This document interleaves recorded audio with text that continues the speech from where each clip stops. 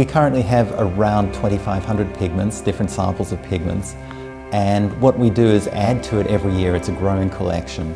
We need to do that because we're constantly looking at new and newer works of art that use new pigments and we need to have standards for comparisons against works so that we can identify what the pigments are.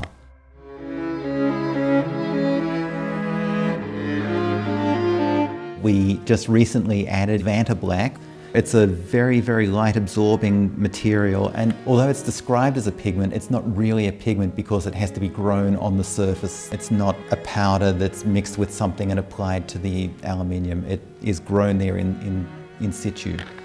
And it's a series of very small tubes, so you have small round tubes that grow outwards from the surface and the light goes into those tubes, bounces around and then is transferred into heat energy which is then dissipated.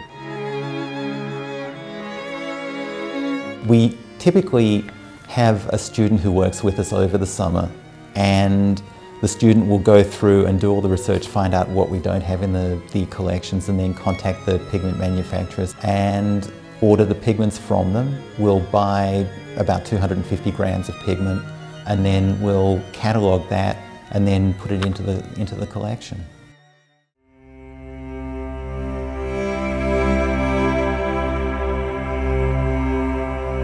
If a student has a particular interest in a pigment, we can help them with their research, we can show them the material. And what we try and do is help people who have specific interests with materials that we have in the collection.